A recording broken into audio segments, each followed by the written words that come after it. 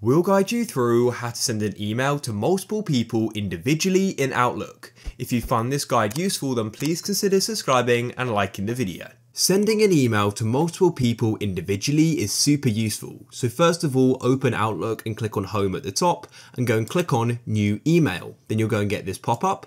And what you want to do is simply go and click on CC just here and you'll get this pop up. Now what you want to do is come to the bottom to BCC. Now this goes and stands for blind carbon copy. Click on the text box and go and type in one of the recipients you want to send the email to. After you've done that, click OK, and that will then be added into the main sort of email message. And you can then go and click in this text box and press enter, and then it's going to have added the email there. And then what you can do is can start adding the other recipients you want to send it to. So I'll go and send it to this person and I'll add another as well. And I'll also send it to this person as well. So just click there and you can keep going.